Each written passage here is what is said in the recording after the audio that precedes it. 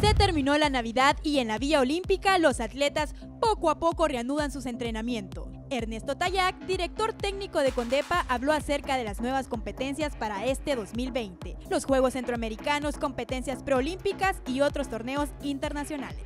Como bien saben ustedes, este es el año de los Juegos Olímpicos. Tenemos una atleta que está buscando la clasificación para los Juegos Olímpicos y también ya el Comité Olímpico está haciendo las gestiones también para encuadrar ella para los Juegos Olímpicos de Tokio.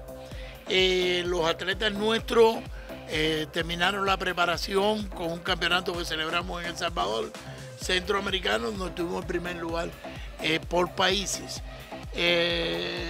Eh, estamos trabajando con la selección con vista a los Juegos Centroamericanos, como bien saben ustedes, la Olimpiada nuestra son los Juegos Centroamericanos.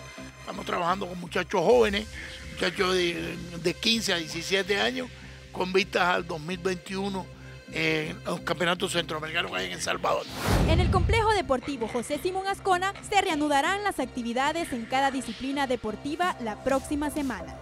Pasamos a las ligas menores. En la categoría U17 del Motagua, el entrenador Jesús Osorto habla de la actualidad de su equipo y nos adelanta que han asistido más de 100 jóvenes en busca de una oportunidad. Escuchemos. Bueno, la verdad que Ahorita estamos en el proceso de escogencia para la temporada 2020. Eh, ha venido una buena cantidad de muchachos, unos 100, 150. Y estamos en el proceso de evaluación, como le digo, para, para dejarlos en la temporada y a ver qué, nos podemos, qué podemos dejar para el club y así pues eh, tener un buen, una buena competencia y para pues enviar jugadores a la reserva principal del equipo Motagua.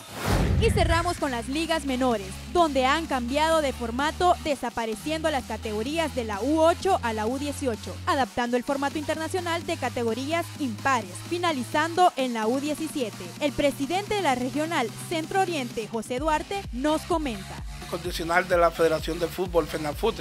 Este año pues vamos a trabajar más apegado a los nuevos cambios que se están dando, ya sea en cambios que nos dio la FIFA, en, edades, en cambios de formulario, en mejor documentación que se va a presentar, porque todo esto ahora entra en una plataforma que va para FIFA.